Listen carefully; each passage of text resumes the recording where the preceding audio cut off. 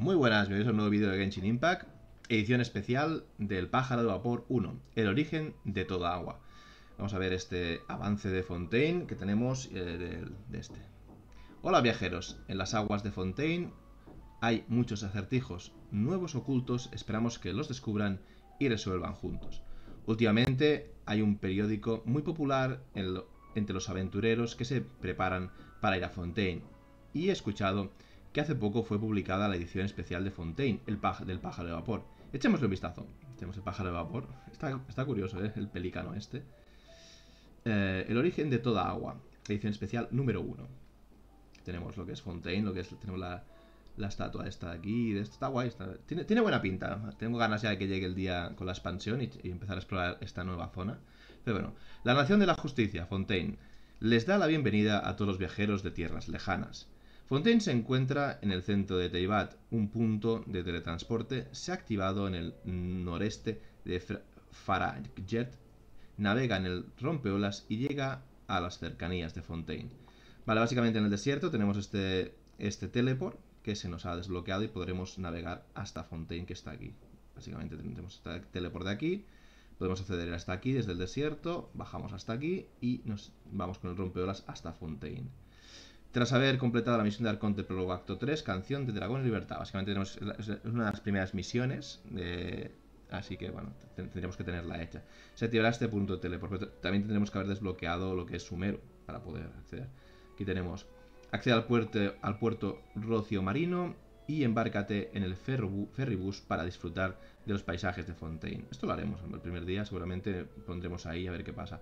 Pasa el túnel de Poison, aquí tenemos, contempla a distancia la ópera de las epíclesis. Epíclesis.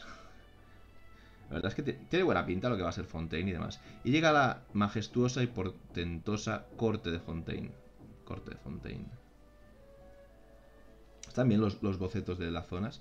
Aquí encontrarás construcciones preciosas, gente nueva y objetos novedosos. Aquí tenemos las, las melusinas, los guardias, robots, que son de esto, y bueno, los típicos habitantes de, la zona de Teibat. Historias, nunca oídas y leyendas tiempo atrás olvidadas, como si de una nación sepultada en lo más profundo de las aguas se trataran, anhelan fervientemente la llegada de algún visitante. En lo más alto de las cascadas y en la metrópoli marina que se yergue sobre las planicies, da comienzo un nuevo capítulo de esta aventura.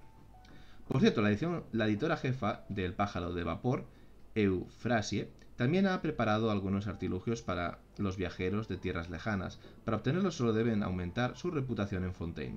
este será el NPC que se ocupe de la reputación de Fontaine. Eh, tendremos que verla, que es la, editora en jefa. O sea, la, jefe la jefa de, de la... Hostia, ¿cómo se llama la...? ¿Cómo se llama la de las gafas? La de... Hostia, no me acuerdo. Ay, Dios santo, no me viene el nombre. Pero bueno. Aquí tenemos trampa para cristalópteros. Un dispositivo en el que el ponerle determinados tipos de materiales puedes atraer cristalópteros. ¡Ostras! Hostia, pues esto está bien.